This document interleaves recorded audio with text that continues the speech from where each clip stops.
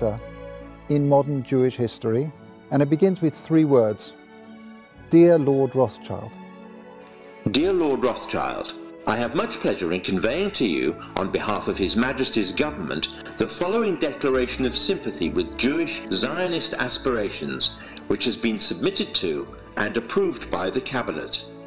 Why was it that this letter was sent by the Foreign Secretary to your great uncle Walter?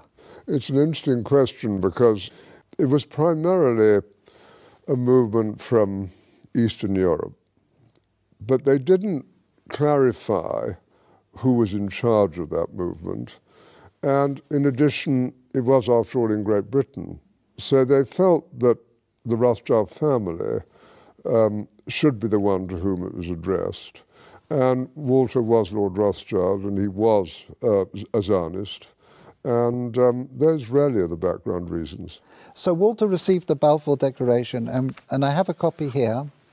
And I wonder if I could possibly ask you to read it for us. Yes, indeed. Yeah. I'm going to put on my spectacles to make sure I read it accurately. His Majesty's government view with favour the establishment of Palestine as a national home for the Jewish people and will use their best endeavours to facilitate the achievement of this object, it being clearly understood that nothing shall be done which may prejudice the civil and religious rights of existing non-Jewish communities in Palestine, or the rights and political status enjoyed by Jews in any other country. I should be grateful if you would bring this declaration to the knowledge of the Zionist Federation. Yours, Arthur Balfour. And here it is, the Balfour Declaration. What do you feel when you, when you see it here? I genuinely feel it's one of the most extraordinary moments in the history of the Jewish people. Uh, if you think it took 3,000 years uh, to get to this, and then you say, how did this miracle happen? It was the most incredible piece of opportunism. I mean, if you think you had an impoverished uh, would be scientist, Chaim Weizmann, who somehow gets to England, meets a few people, including members of my family, seduces them. He has such great charm and conviction.